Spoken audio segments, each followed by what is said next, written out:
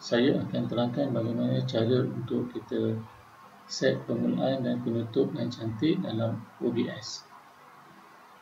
Untuk itu, klik pada setting. Kemudian pergi pada hotkey.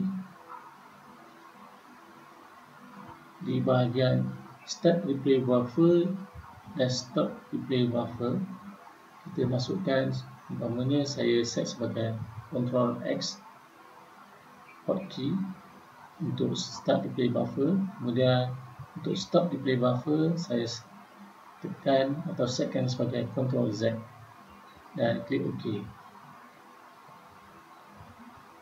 untuk contoh saya gunakan umpamanya jika saya buka dalam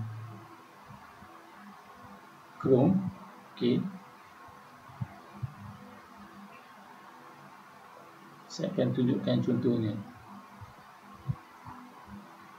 Di sini juga untuk saya pastikan paparannya penutup tidak nampak ada mesej keluar. Do you want to stop yes or no so saya tekan Ctrl Z. Baru saya klik stop